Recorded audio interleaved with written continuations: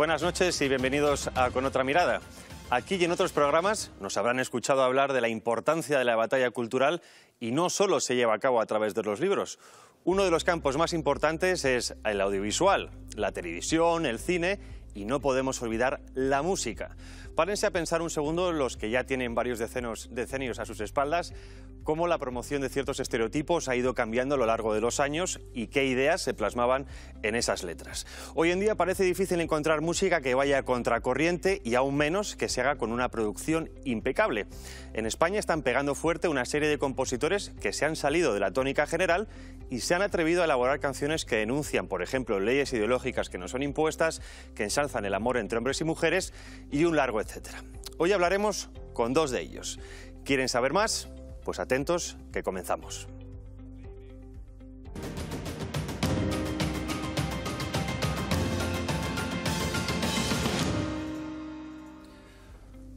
Bueno, como les decía, hoy es un programa especial. Vamos a hablar de música y con ello vamos a hablar con dos músicos españoles. Uno de ellos es Santa Flow. Muy buenas noches, bienvenido. Hola, buenas noches. Y otra es Norico. Muy buenas noches. Buenas noches. Gracias por estar con nosotros. Gracias a ti. Pregunta obligada. Ah, ¿Por qué os dedicáis a la música? Tú. Libertad. Tú mismo. Pues eh, yo de pequeño siempre decía, de mayor quiero ser, eh, por las películas que veía, o actor, o cantante, o policía, porque eran los que más ligaban. y cuando ya me hice un poco más mayor, eh, dije, yo creo que cantantes ligan más, esto es- solo es en las películas. Y con el tiempo fui viendo que realmente me gusta, o sea, no, no me imagino haciendo otra cosa que no sea música, o sea, yo creo que es que, no sé, naces con ello. Mi padre oía mucha música, mucho rock, y yo ya desde entonces, pues como que no puedo pasar un día sin estar pegado a la música. ¿Y en tu caso? En mi caso a mí me ha gustado la música desde siempre. En mi casa siempre había música, mis padres tocaban instrumentos y pues yo cuando tenía 6 o 7 años escuché a, a María Carey en, un- en una radio y dije, wow, yo quiero hacer esto. Y lo, lo gracioso del tema es que cuando puse la canción me resultaba muy fácil seguir lo que ella hacía. Y pues yo me tiraba las tardes enteras cantando, venía mi madre a la habitación y me decía, pero cállate ya, que eres muy pesada. Y seguí, seguí, seguí y hasta aquí. La típica que se quejaban los vecinos de... Exacto, exacto, del esa era ruido. yo. Bueno, lleváis más de 10 años en esto, abriéndose camino, Y de 20. y más de 20. Bueno, he puesto 10 porque, porque- por los- guiándome por los vídeos de YouTube, porque bueno, luego hablaremos de eso. Pero bueno, cu- contadnos un poquito cómo ha sido la- vuestra carrera en general, la progresión. Me estabais contando antes, por ejemplo, que ha- habéis triunfado muchísimo en Hispanoamérica. Contadnos esa trayectoria. Pues sí, eh, yo ya desde, desde al- a mis principios sello independiente, no nos conocía nadie. Eh, aparte, lo- los pocos medios de rap que, no- que- cubrieron lo que hacía yo con un compañero, que éramos un grupo, éramos dos, eh, era un poco para cazarnos porque nos salíamos un poco del esquema, ya no, no en cuanto a letras, sino simplemente musicalmente. A mí me gustaba cantar estribillo, fusionar con soul, con pop, con rock, y eso estaba mal visto. Había que ser así y, y desafinar todo el tiempo. De hecho, no cantar. Eh, y, un buen día con el tema de Internet empecé a notar que me agregaban al Messenger muchísimas personas del norte de México, pero una cosa de no parar todos los días. De esto que, no sé, tienes suerte, cae ahí en dos o tres personas que se lo pasan a los amigos y, en 2008 me, me hablan, oye, que te montamos un concierto, que tienes aquí mucha gente en Ciudad Obregón. Y ahí empezamos ya la, cosa de, Hispanoamérica, que se fue extendiendo por el resto de México, después Argentina, Colombia y, y hasta ahora. Y ahora estamos, tiempo después, empezando a levantar un poquito cabeza en España, donde nunca pues, nos ha ido tan bien como fuera. Pero bueno, yo creo que ahora estamos eh, un poquito empezando a, a resurgir aquí. Lo estamos viendo un poco en las estadísticas en YouTube, en Spotify y estamos muy contentos por ello, claro. ¿Cómo, es, ¿Cómo es hacer las Américas? En el caso que hay muchos músicos que dicen, bueno, hemos ido a América, el, fenómeno fan, allí creo que son mucho más sensibles a este tipo de cosas que nosotros. ¿Cómo habéis vivido las giras o, el- o el hecho de que se os pida conciertos allí antes que aquí? El tipo que se dice que nadie es profeta en su tierra. Pues nosotros nos, nos consideramos artistas clase media, ¿no? O sea, nosotros trabajamos mucho, pero no, no lo que decimos siempre, ni tenemos un Mercedes en la puerta, ni un Ferrari, ni nada de bueno, eso. eso todavía no. Bueno, ojalá algún día, pero por ahora no. Y para nosotros ha sido un proceso muy natural. Como contaba Santa, eh, a él empezaron a escucharle en el norte de México, le empezaron a ofrecer ir allí de, de, bueno, a dar algún concierto y como era lo que había, pues allá que se fue y la experiencia fue tan buena que, bueno, las primeras veces por cuestiones de, de seguridad, bueno, la experiencia con los, con los fans, con el público, porque luego la experiencia logística quizás sí es verdad que no fue tan buena. Pero la gente, eh, lo que tú comentabas es cierto, la gente es tan entregada, son, son tan cariñosos, tan amables, nos han tratado siempre tan bien que para nosotros es una segunda casa. Y es, eh, la experiencia es un poco como vivir algo medio virtual, ¿no? porque cuando vas allí pues la gente te conoce, se hace fotos, a veces lloran cuando te ven, es, es como muy loco. Y sin embargo cuando llegamos aquí no nos conoce nadie, vamos a la carnicería en chándal y con el moño así de cualquier manera. Eso son ventajas también. Sí, eso sí, es sí. exacto. Entonces tenemos Poder hacer vida normal. justo tenemos la suerte de poder vivir las dos cosas tranquilamente y, y bien. La verdad que estamos muy contentos. Ahora que has dicho antes lo de eh, experiencias logísticas no tan agradables, eh, creo que os tengo que preguntar entonces por alguna anécdota, eh, bien sea allí o aquí, contad alguna cosa que se os ocurra, Claro. Pues curiosas, no sé, eh, en fin, no, no me quiero poner en vuestra cabeza porque no lo he vivido, pero seguramente tengáis muchas cosas que contar. muchas. Mira, lo que decía ella, por un lado está, la- son la- son- es la doble cara, ¿no? La, la cara de, lo- de los fans, los seguidores, incluso también mucha gente de, de algún medio de allí o, o de radios más pequeñas que enseguida te abren las puertas de su casa, eh, o sea, eh, cualquier persona a la que vas a, a un centro comercial a firmar autógrafos, o sea, te trata, no sé, como si fueras de la familia y los fans, una locura. O sea, no ha- hace falta, aunque no la hubiera a veces, hace falta seguridad porque es que si no, no, te- no se despegan de ti cuando te quieres ir ya en la furgoneta y demás, ¿no? Esto en, en Argentina, por ejemplo, recuerdo una vez que nos persiguieron eh, un puñado de chicos por, por, por una calle, pues como la diagonal de Barcelona, enorme, no sé cuántas cuadras corriendo detrás de la furgoneta. Se iban quedando atrás y a la que paraban un semáforo volvían. Y yo decía, pero Dios mío, los van a atropellar. y, y así, una, o sea, una locura. Yo decía, coño, esto me recuerda cuando veía películas de, de los hombres G, el momento en el que se van a México y todo esto, es increíble. O sea que, que sí. Y luego, bueno, pues por otro lado, lo de la logística, que es lo que decías tú, es eh, eh, la- en el último viaje eh, nos pusieron una pistola en la cabeza para llevarse la recaudación de las dos últimas actuaciones, merch y demás. Y, y bueno, entre eso y todo el tema de las restricciones por las que no estábamos dispuestos a pasar, pues hemos hecho un poquito una pausa y de ahí que, que estemos también metiéndole mucha caña ¿no? a- aquí a, a España. Que no quiere decir que no vayamos a volver, pero tenemos que volver en un en un estatus un poquito más alto, básicamente para tener un poco más de, de posibilidad y control sobre el tema seguridad, porque tampoco renta, ¿no? O sea, yo ahora mismo, afortunadamente, no necesito ir de gira. Cuando lo necesitaba iba, aunque me pasasen cosas horribles en el primer año, el siguiente, el segundo volvía. Ahora ya, después de que todo se estabilizó y va bien, y hubo este percance de seguridad en 2019, pues como que Te lo piensas dos veces. Exacto, porque al final, eh, bueno, pues la seguridad de, de mía y del equipo, de cualquiera de los que vengan con nosotros, creo que es más importante que venir con unos dólares. Tenéis estilos diferentes, eh, ahora lo veremos también. Eh, ¿Por qué habéis elegido esos? ¿Os habéis sentido más cómodos? ¿Realmente os gustaba? Ah, ¿La evolución típica de, de cualquier músico?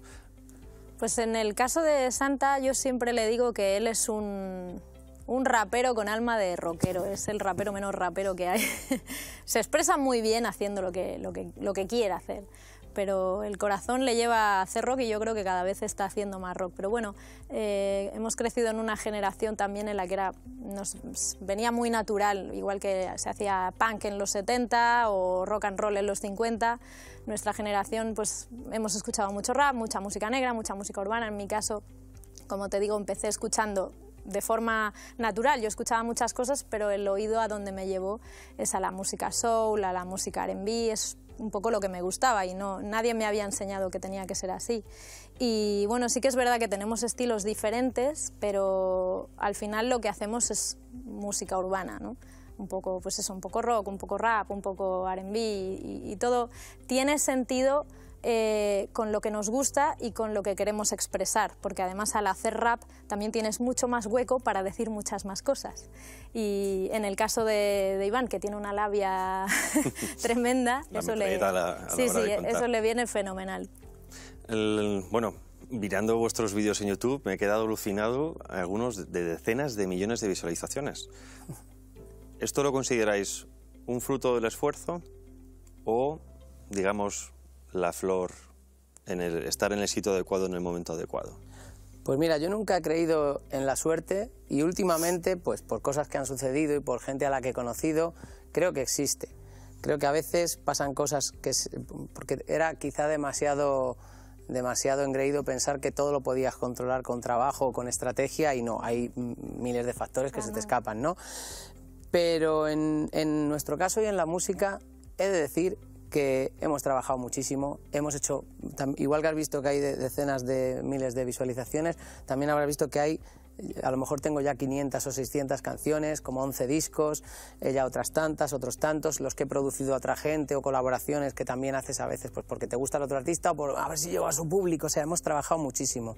Entonces, en, y en nuestro caso además no hemos tenido ese momento en el que no te conoce nadie y de repente, ¡pum!, y, das un salto, no, siempre ha sido como muy despacio, como lo que te contaba, exactamente, muy progresivo a eh, México, se va extendiendo por el resto, tal, y ahora igual, en España, muy poquito a poco nos estamos aquí hoy, cosa que a lo mejor pues hace tiempo no era impensable. Hemos estado en el Viva, que es una cosa muy, muy, muy grande, pero tampoco es que tengamos eh, como una agenda para mm, tocar en España muchísimo. O sea, en España ahora estamos despegando, hemos tenido ese empujón, pero ese empujón es puntual, no, no eh, implica que nos vamos a dar más a conocer y yo creo que vamos, o sea, ojalá un día peguemos un boom ahora que tenemos una edad y la cabeza en nuestro sitio, porque sí es cierto que he visto gente que, que se ha perdido. Sí, sí, sí, se vuelven muy locos, ¿eh? eso no es un mito, yo lo he visto a, chavales que conocía.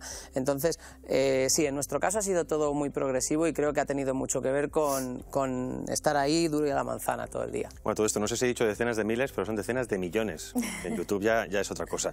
Ah, ¿Cuánto se tarda en tener un carácter propio? Es decir, habéis tenido éxitos, fracasos, entiendo también en, toda la carrera, pues oye, aciertos, fracasos, errores. Eh, ¿Cuánto creéis que se tarda o cuánto habéis tardado en vuestro caso en decir, este es mi rollo, esto es lo que me gusta, esto es lo que le voy a hacer? Pues para bien y para mal siempre ha sido un poco así, en, en los dos casos, ¿no? O sea, Santa Flow siempre ha sido como él quería ser eh, y muchas veces en detrimento de tener más éxito, porque lo que contaba él al principio cuando le ficharon en un sello pequeño eh, y le llevaban a medios de rap, él era muy poco rapero para, para los estándares, ¿no? Entonces, en el momento en el que estás empezando, eso siempre es un lastre, porque no te pueden... Y nos pasa también un poco ahora, ¿no? No te pueden encajar. Nos pasa ahora que somos demasiado rap para el pop y demasiado pop para el rap, ¿no? Estamos ahí en un sitio como raro. Eso es malo para que te etiqueten, pero sin embargo nosotros siempre hemos pensado que es bueno eh, porque los artistas a los que nosotros admiramos son un poco inclasificables, ¿no? Michael Jackson, ¿qué hacía? Hacía pop, hacía música negra, ¿qué hacía exactamente? Eminem. Eminem es un tío blanco que de repente empezó a hacer música de negros y la llevó al mainstream. Entonces, de hecho, quizá eso sea parte del éxito. Exacto. Mezclar cosas que la gente diga, ni de Fly funciona esto, pero de repente Ahí está, ¿no? Exactamente. Entonces, eh, nosotros, por un lado, siempre hemos sido muy fieles a lo que queríamos hacer. Eh, entonces, al final, siempre acaba siendo natural, ¿no? Que hagas un, poco lo que, lo que quieres hacer y, bueno, intentando siempre adecuarte también de alguna manera y cada vez más hacer cosas, pues si a la, gente en España nos empieza a escuchar, pues evidentemente eh, intentaremos llegar ahí a un punto en el que pues lo que hagamos no sea demasiado bestia para que la gente lo pueda escuchar y disfrutar o cosas como en el Viva, ¿no? Por ejemplo. Esa serás tú. De ese tipo, sí. Al, final. al final la cabra siempre tira al mundo, eso es cierto. Bueno, estamos hablando de vuestra música, vamos a escuchar dos de vuestras canciones. Empezamos con Grabada a Fuego de Norico y ahora nos cuentas el, el trasfondo de esa canción. Perfecto. Vamos a escucharla.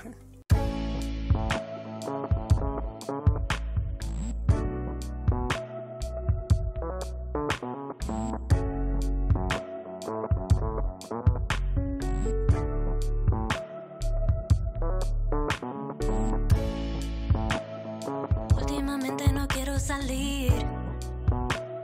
Todo lo que veo me recuerda a ti. Si alguien me pregunta, prefiero fingir que me das igual lo mismo que yo a ti. Prefiero hacer como que ya no me importas, que ya no me afecta si andas con otras. Por eso ya casi no quiero salir, porque estoy segura se me nota. Sabes, extraño tus besos, extraño tus brazos sobre mi cuerpo, extraño esos tiempos cuando los demás eran lo de menos, cuando me mirabas y yo era la que ocupaba tus sueños, cuando era tu cura y no tu veneno. Me pregunto qué harás ahora y si alguna vez pensarás en hora, si tal vez tú me si será un alivio no tener que verme cada hora. Te juro que estas reflexiones son agotadoras, cada día que pasa me siento más perdedora. Pues te dejé ir y pensar en ti poco a poco me devora.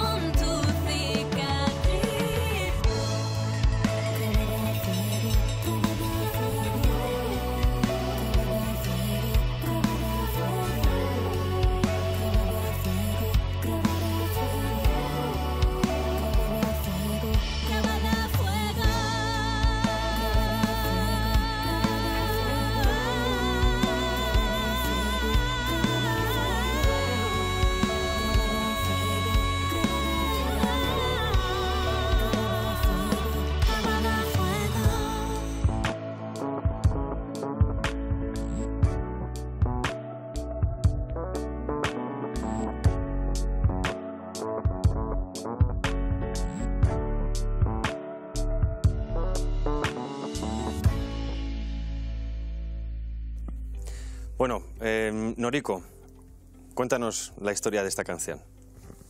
Pues en realidad a mí me gusta, eh, a mí me gusta hablar de historias cotidianas, ¿no? Yo no me considero una activista, yo soy art- artista. Lo del activismo político casi que es un poco de, pasada, ¿no?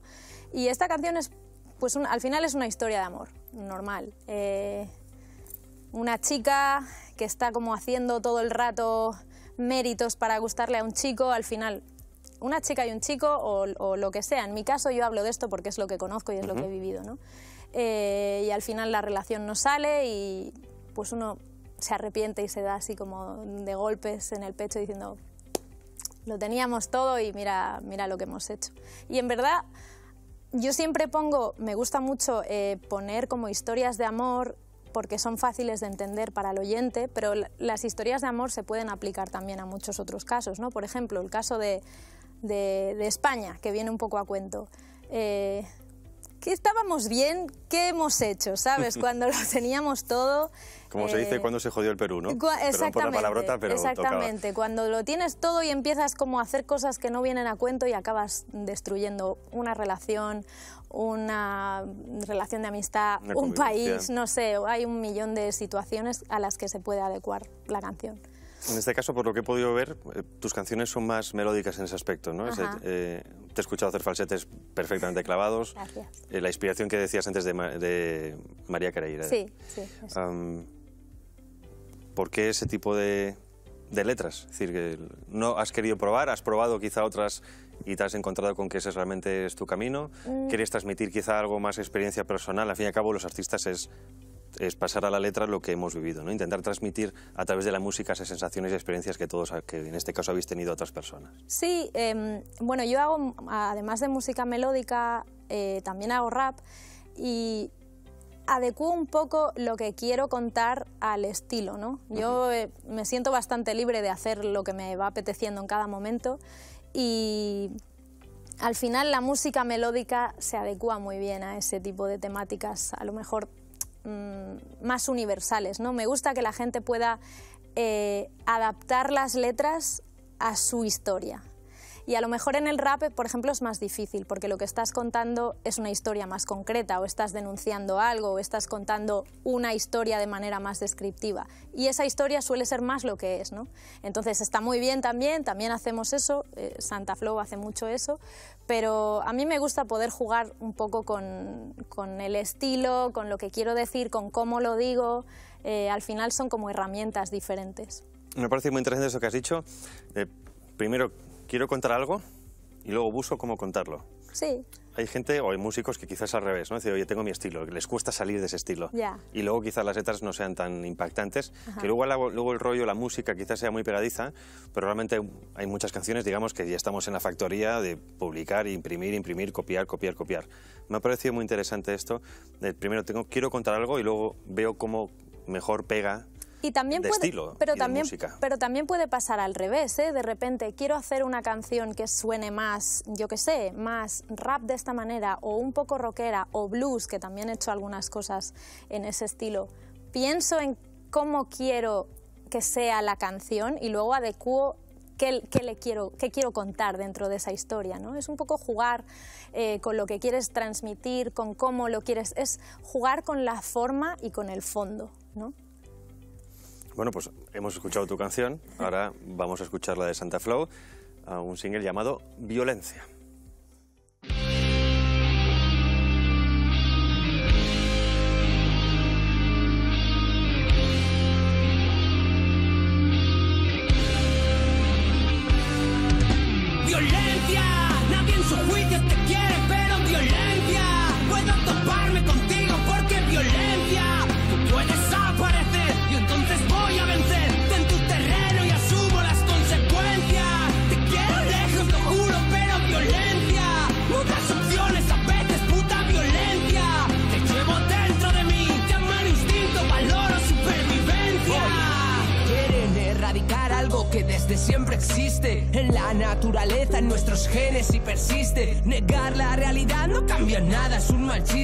Buscando domesticarnos como ovejas y es muy triste. Hay violencia justa incluso necesaria.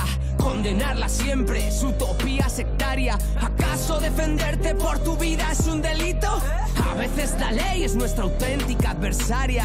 Y es que la violencia es un lenguaje y hay que dominarlo cuando de otra forma no haces llegar el mensaje. ¿Has probado hablar de física con un mapache? Hay personas que son inclusive más salvajes. Imagina un yonki armado con una navaja que quiere agredirte y de esa idea no se baja. Puedes arriesgarte a dialogar, igual te raja. Prefiero que me detengan que acabar en una caja. Si entran a mi casa, por la fuerza jodiendo la cerradura, van a ver qué pasa. Tengo que combate de madera dura, mucha determinación para la acción y tolerancia escasa. Un allanamiento es una buena razón, aunque al pacifista le parezca una locura. Trato de estar preparado para de ser justo para no vivir con cargo de conciencia. Amo la paz como el que más, más no verás temblar mis manos ante una amenaza si hace falta usar violencia. ¡Violencia! Nadie en su juicio te quiere, pero violencia. Puedo toparme contigo porque violencia.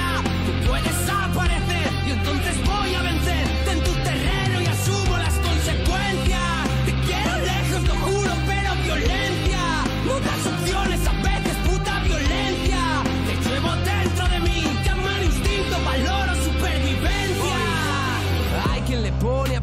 Sobrenombres y nos acusa de violentos solo a los hombres. Yo voy a decirte una verdad universal, la violencia no tiene género, es violencia, nada más. Y está mal cuando se abusa, venga, de donde venga, y está bien cuando te salva el legítima defensa. Os prometo que detesto las situaciones tensas, pero a veces no te bastará con usar la lengua. Frases estúpidas las hay por doquier, joder. La solución para un problema nunca es la violencia. Dos no pelean si uno no quiere. Vaya estupidez, me pasé la niñez suplicando a un matón clemencia. Y os diré cuándo terminó todo. Cuando le puse huevos y agarré por los cuernos al toro. En su idioma fui más contundente y de ese modo con violencia puse fin a meses de violencia y sí. Acoso escolar apunta al niño a un arte marcial que agarre y en sí mismo más seguridad. Porque hay gente mala y eso nunca se va a terminar. Lo políticamente correcto no trae la verdad. No funcionará, no te servirá. Siempre mírame, no hay fórmulas mágicas y quien lo afirme miente queme. La violencia nunca se evapora. Si la ignoras, se hace fuerte y te termina comiendo como caníbales. Violencia, nadie en su juicio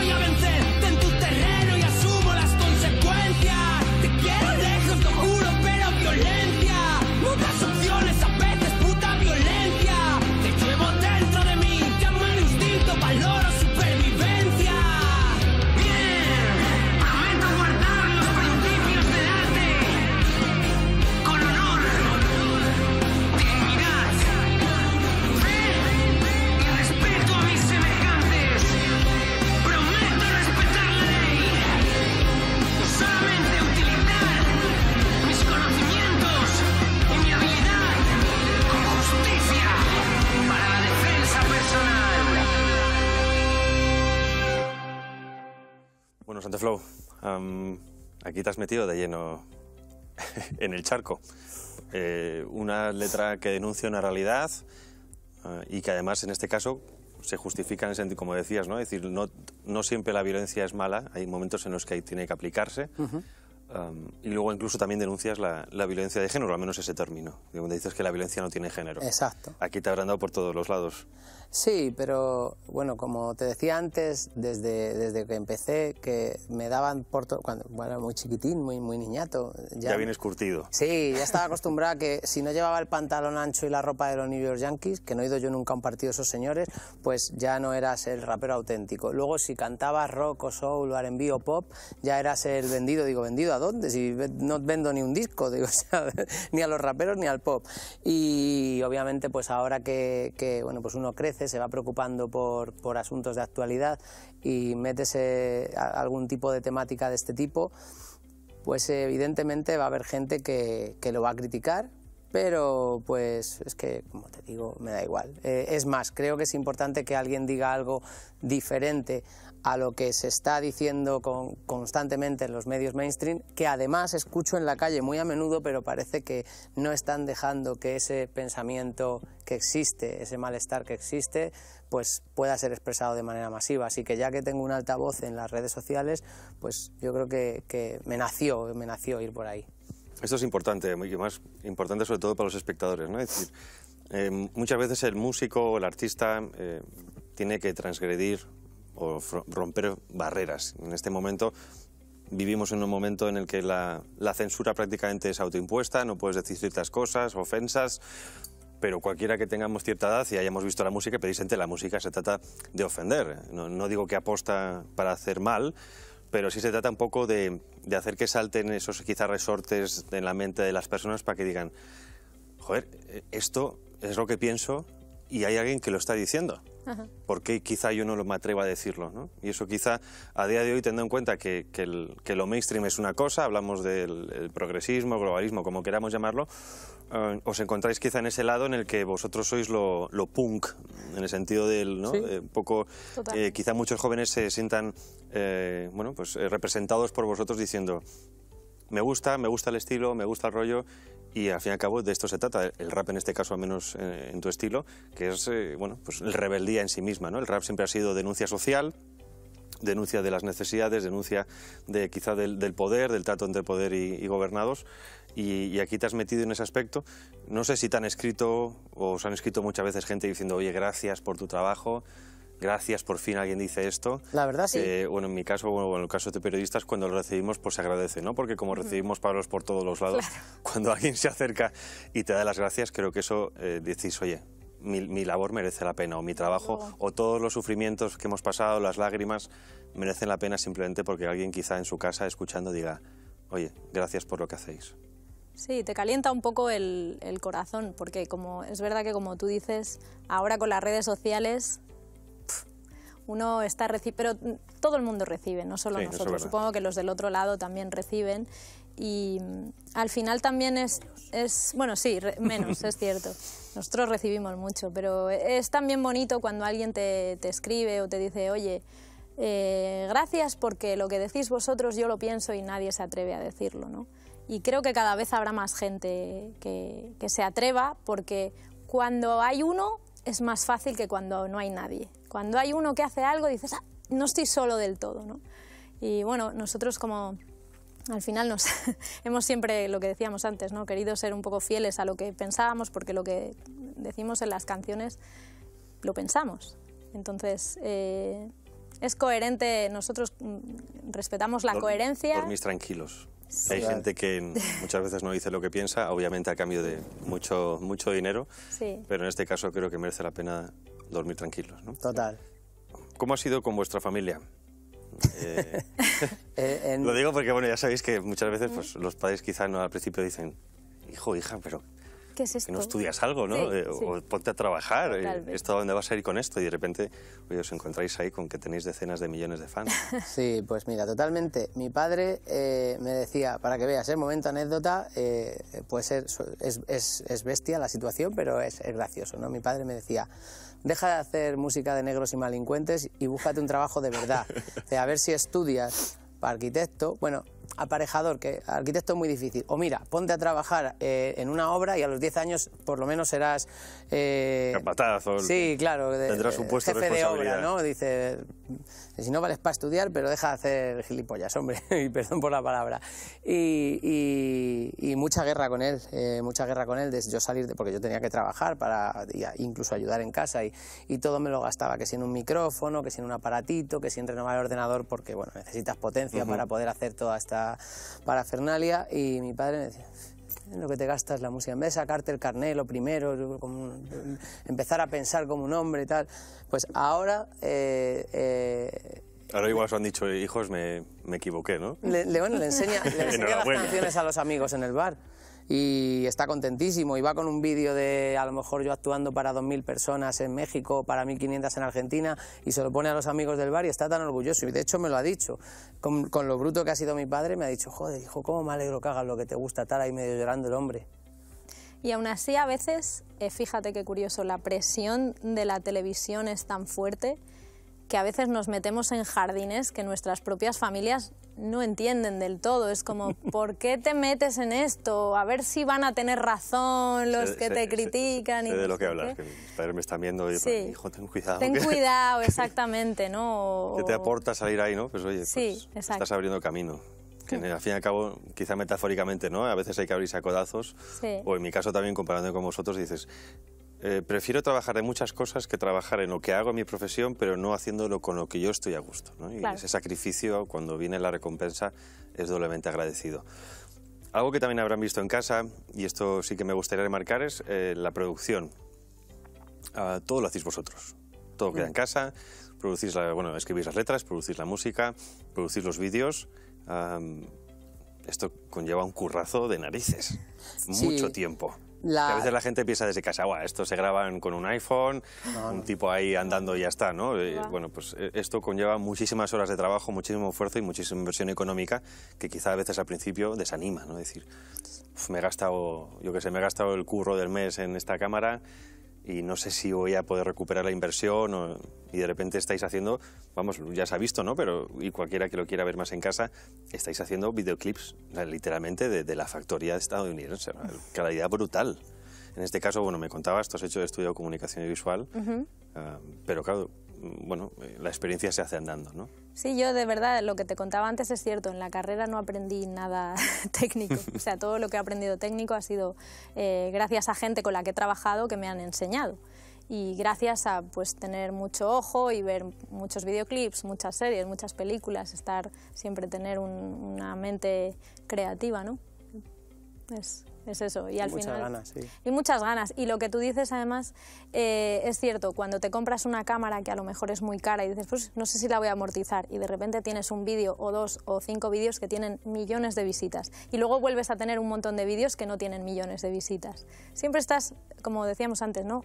jugando al filo ahí de lo que hago, lo siguiente que haga va a gustar como lo anterior que he hecho, sí, no, me merece la pena este esfuerzo, porque cuando ya tienes un estatus, pues ya es más fácil, ¿no? Pero nosotros que somos eso, lo que- nosotros y tantos otros que son artistas de clase media, siempre estamos ahí con, el, con la cosa de decir, todo lo que nos esforzamos, todo lo que trabajamos, yo le he visto a él trabajar horas y horas y horas sin levantarse para ir al baño, porque no se acuerda de ir al baño, de verdad, ¿eh? te lo prometo. todo este esfuerzo merece la pena, tiene una, un- una vuelta a ti, pues a veces sí, a veces no, es así la vida. Para mí sin duda sí, para mí sin duda sí. Yo prefiero estar eh, eh, haciendo esto que hago y encima diciendo lo que me da la gana y como digo siempre, y ser un rico de, de mondeo, yo soy un rico de mondeo, Sí. a ser un rico de Mercedes y a lo mejor estar de jefe de obra o de arquitecto o de abogado, que, que odio todo ese tipo de cosas. La verdad que sí, y, y a lo mejor tuve que hacer algunos sacrificios al principio y trabajar de dos cosas a la vez, y a lo mejor no me podía ir tanto de fiesta, no tuve moto y entonces tuve menos chicas, porque esas cosas pasan cuando tienes 18 años. Eh, pero Yo me compré la moto hace poco, ¿eh?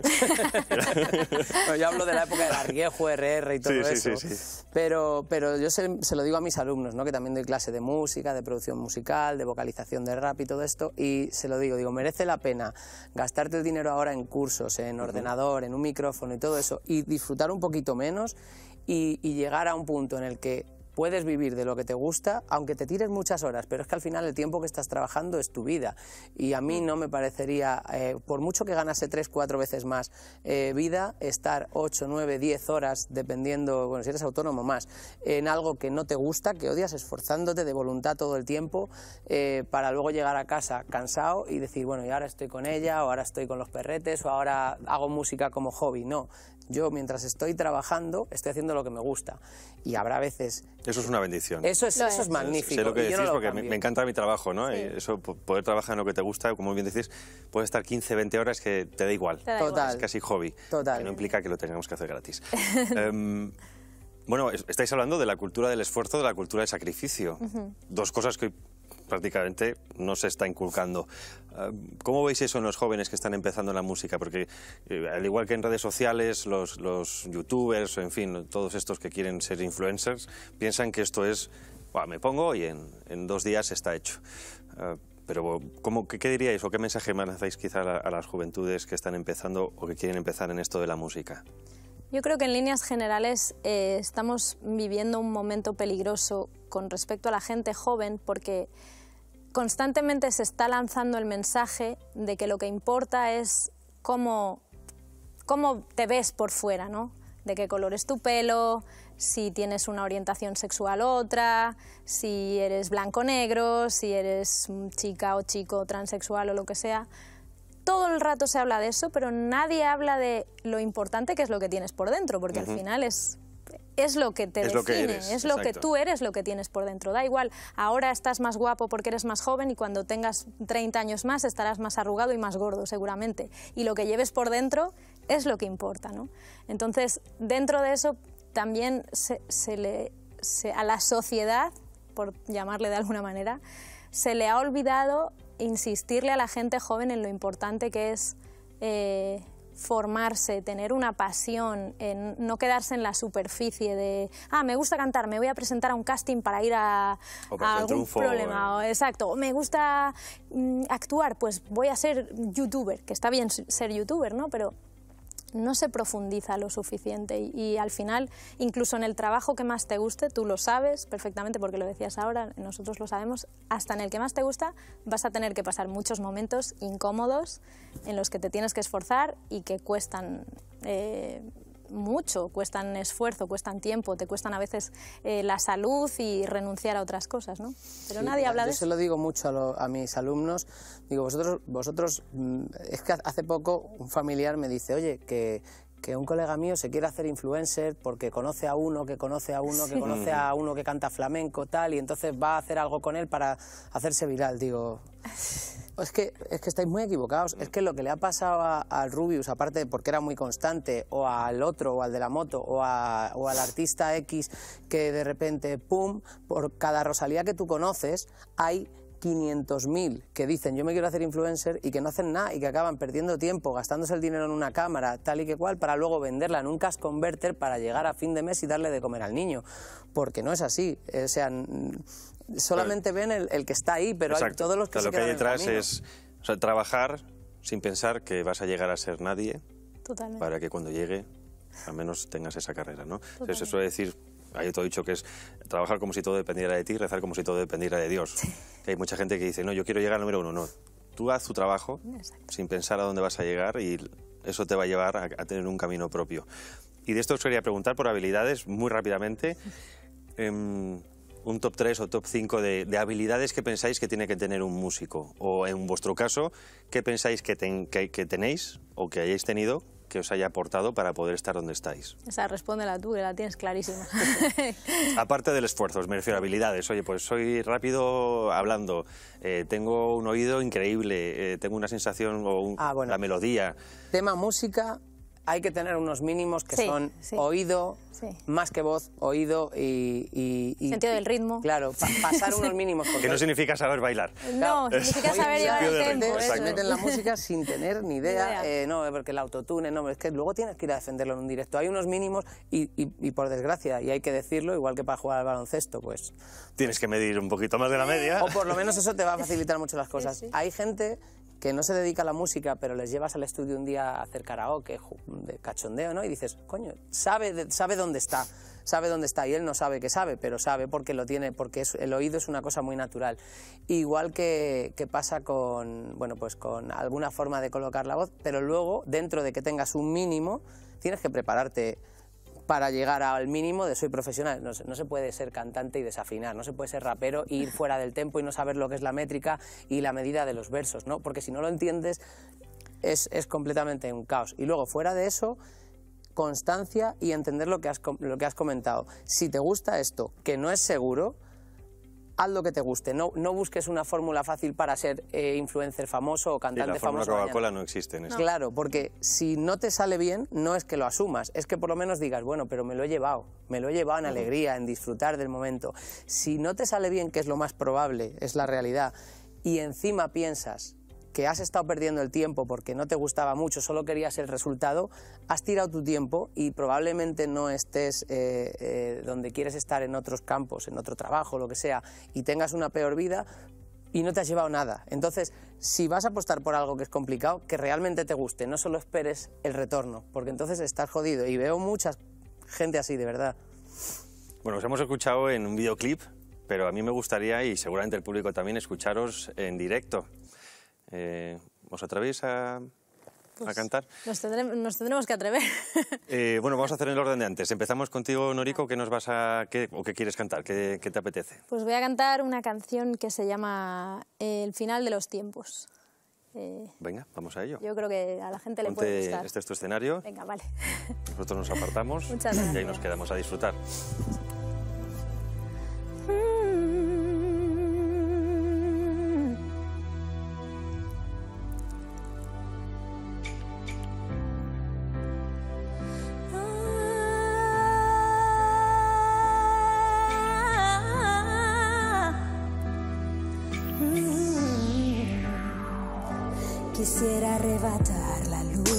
Las estrellas, ponerla en tu mirada y hacerla más bella, aconar tu corazón. Duérmete, amor. Quisiera apagar la voz a las sirenas, hacer un nido con arena, mar y tierra, devolverte la ilusión es mi misión. Me gustaría darte hasta lo que no pides, crear días perfectos que te sientas libre, pintar con oro y rellenar cada intuición del corazón. Quisiera ser una vez invisible y asegurarme de que nunca necesites. Quisiera quitarte el temor, darte valor.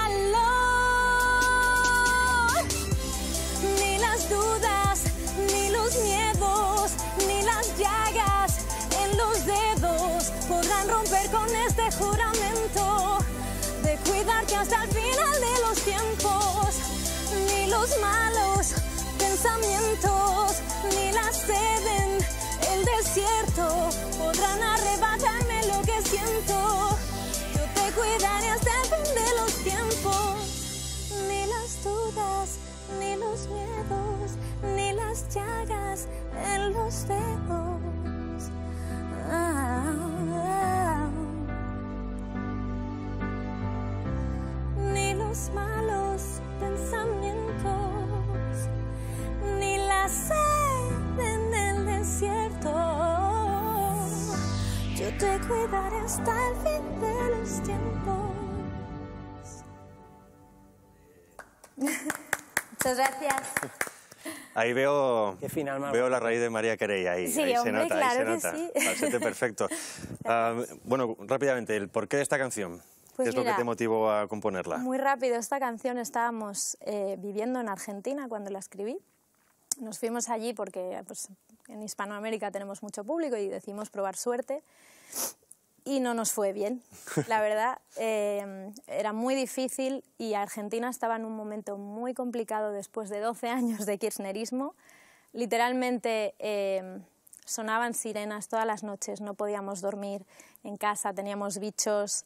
Eh, eh, vivíamos en unas condiciones muy malas a un precio muy alto, económico y, y de, también habíamos dejado a nuestra familia. Y esta canción la escribí porque, porque pues estábamos tristes y, y la escribí un poco eh, con, la, con la sensación de cuando quieres a alguien, harías cualquier cosa para devolverle lo que le, lo que le hacía feliz, ¿no? Y así, esa fue la historia. ¿Cómo te quedas? Mejor no digo nada. Bueno, pues es tu turno, Santa. ¿Qué, Pues, pues vamos. qué- bueno, adelante.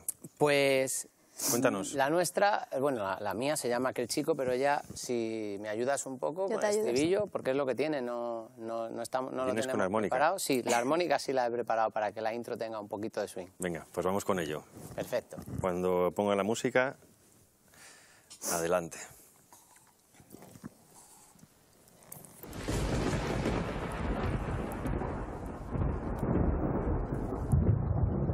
Como veis, estas son un poquito, un poquito más baladitas, más tristes, para que veáis que no estamos todo el rato dando la batalla cultural, que también hacemos cosas de artista no peleón. ¿Ahora qué es? Hay que relajar. Exacto.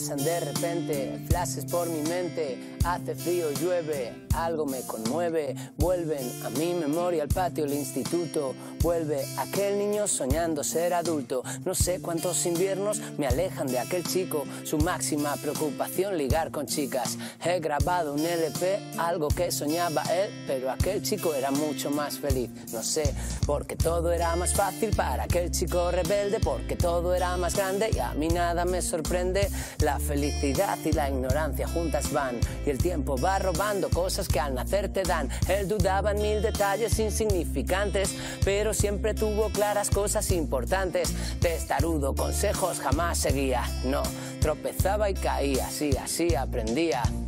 Un impetuoso gamberro y mal estudiante. A menudo en clase dejaba el sitio vacante. La calle es otra escuela. Amaba el arte urbano. Pintaba en todas partes. Su apodo spray en mano. Montaba siempre juerga. Apenas sin un duro. Y solo conocía de lejos el lado oscuro. Si entraba ciego a casa intentaba disimular. Qué inocente. No lo puedes evitar, siempre miras al pasado y aunque creas que es igual, todo ha cambiado, no podrás recuperar lo que el tiempo te ha robado, solo queda recordar hoy que el día está nublado. Hiperactivo, nunca lo vi relajado. Apenas dormía y jamás estaba cansado. Vivió la música, las broncas en su casa y en el barrio. Los días no existían, no importaba el calendario, importaba el reloj. Llegaba tarde y castigado. Una vez me contó que se sentía enjaulado. Qué ironía, ¿verdad? Puede sonar tan increíble. Yo no puedo dejar de envidiar su alma libre. Cuánta ilusión, cuántas cosas creía. La vida es dura, pero él todavía no lo sabía. Y es que al abrir los ojos el cielo es de otro color. Hoy siento que los tiempos pasados eran mejor. Aquel chico feliz tuvo que madurar con prisa. Mis lágrimas añoran esos días de sonrisa. No sé muy bien cuál es la razón. No sé por qué al pisar viejos lugares se me encoge el corazón. No puedo evitar echar la vista atrás y aunque pueda parecerlo ya, nada es igual. Noto otro ambiente, todo es diferente. ¿Qué le ha pasado a toda esa gente? Todo está más frío, o tal vez lo parece. ¿Hay muchos más críos o acaso es que uno crece? Todos sentimos alguna vez melancolía. Tres cubatas, un buen cuello y adiós la tontería. No lo puedes evitar, siempre miras al pasado y aunque creas que es igual, Ah, todo ha cambiado, no podrás recuperar lo que el viento te ha robado, solo queda recordar hoy que el día está nublado. Pero si estás atrapado, encerrado, enjaulado, estás jodido, hermano. Es imposible no acordarse de todo lo que ha pasado. Pero el pasado es pasado y está pasado. Si los errores pasados te traen aquí, tú tienes que dejar ya de lamentar. Sé positivo, mira al frente. El futuro depende de que empieces a poner de estos al presente.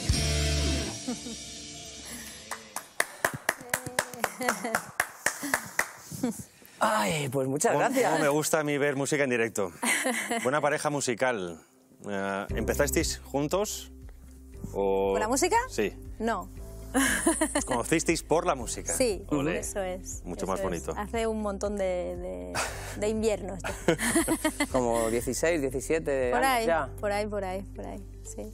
Em, esta canción, por lo que entiendo, también es un poco la, la memoria, ¿no? De cuando hemos crecido. Sí, esta canción... ¿Cómo impacta cuando eras es, un es niño? antiquísima, es una de mis primeras canciones que, que empezaron a gustar más y, y bueno, la, la- la escribí siendo muy, muy, es el paso de adolescente a adulto. De repente mm, te vas una mañana al, al insti al que ya no estás apuntado, pero de pellas, y ves que los que eran tus super amigos ya están a otra porque no te ven todos los días, eh, ves que los profes con los que hablabas más pues también están a otra, tal, y dices, o sea, cuando te vas de un sitio... mm, también porque de, de- de chaval vives las cosas muy intensamente y realmente yo creo que las amistades, al menos en mi caso, más de verdad las haces cuando ya tienes eh, un madurez. poquito más exacto de madurez y más profundidad con, con la- con las relaciones de la gente. Pero cuando la reedité, porque al final es, siempre miras al pasado, todo el tiempo pasado fue mejor y tal, y cuando la reedité más adelante le, le agregué esta última parte, ¿no? la de, bueno, pues si estás, eh, y creo que se puede aplicar a, a- a esa edad o a edades más, más adultas, ¿no? Pues este, estás, una pareja, cualquier cosa que haya pasado y que tú eches de menos, no, ¿sabes? Eh, mira al presente, eh, todo va a mejorar, no siempre va a ser malo, o sea, los momentos de melancolía extrema se, se pasan y si no se pasan solos tienes que forzarte, ¿no? Porque creo que eh, había un pecado capital que ya no está porque debe ser menos comercial, que era la, tristeza o la nostalgia. Y es que tú tienes, que también lo dicen los estoicos, derecho a un periodo de luto, pero llega un momento en el que haces daño a quien está a tu alrededor y tienes que superar eso. Pues nos quedamos con ese mensaje. Muchísimas gracias por estar esta noche. De verdad me ha encantado conoceros. Igualmente. Santa Norico, muchísima suerte en vuestra carrera Gracias. y a seguir disfrutando, que se nota que lo hacéis. Y como siempre, muchísimas gracias a ustedes. Nos vemos aquí mañana a las 9 de la noche. Hasta pronto.